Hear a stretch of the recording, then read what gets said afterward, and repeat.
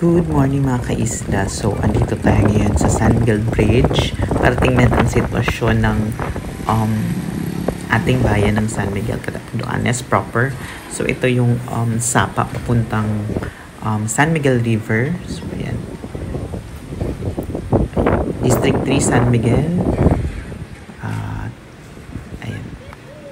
Yung school. So, kung titingnan talaga, so green pang ano, so hindi siya katulad talaga ng Rolly. Nakakatroma yung bagyong, bagyong Rolly noon. Talagang walang green na after ng bagyo. So, ayan, yung sapa pa rin papunta ng um, San Miguel River. So, dati noon yan, na ano yan ng bagyo. Yung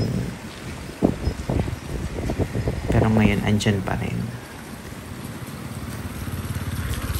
So, stay safe palagi mga kaisla. So, sana okay kayo dyan.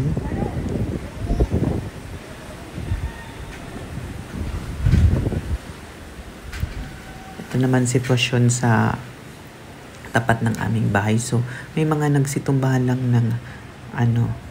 Pero yung ibang mga um, saging hindi natumba. So, it means na hindi talaga siya gaanong malakas kumpara talaga ng rollies. No, nakakatrauma kasi talaga ang rolly. Eh. Yun, yun agad yung comparison ko.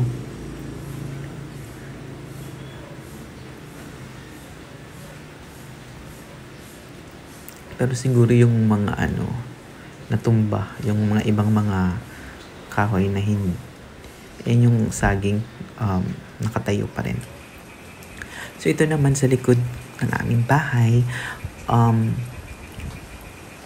ah, yan yung San Miguel River na mismo. So, nagpapakita ng konti ang araw pero pabugso-bugso pa rin ang ha- ang ulan at hangin.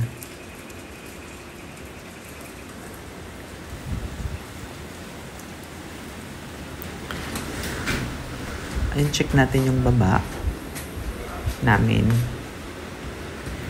So, ayun, may may mga natumbang mga parts ng kahoy.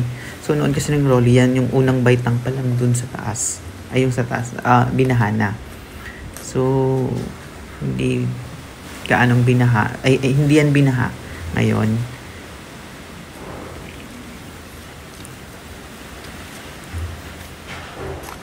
Yan, hin- hindi pala umabot dito yung baha. Yan, buhay na buhay pa ang, ang iba kong mga halaman.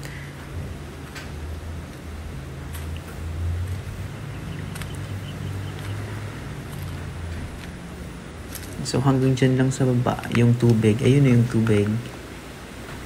Ayan. Buti naman hindi pa tuma hindi na tumaas yung tubig kasi yung mga plants ko doon mga maanod.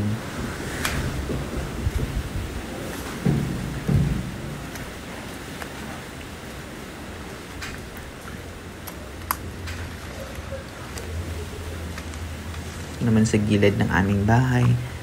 Um, ibang mga hanging plants ko, andyan pa naman. Pero yung iba, nagsitumbahan. Ibang mga tanim. So, okay lang yan. Um, tutubo din yan. Ang importante hindi sila na ano, na ano ng baha. Kasi tutubo rin yan ng mga mga natumba.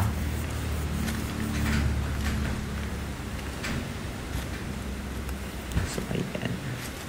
Ayan, nagsisitumbahan sila. Mamaya ko na yun ayusin. Tumba silang lahat. Pero tutubuli naman yan.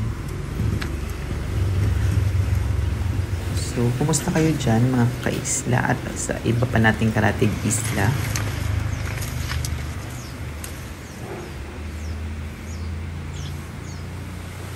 Big, bigla lang umaano yung ano eh yung ulan.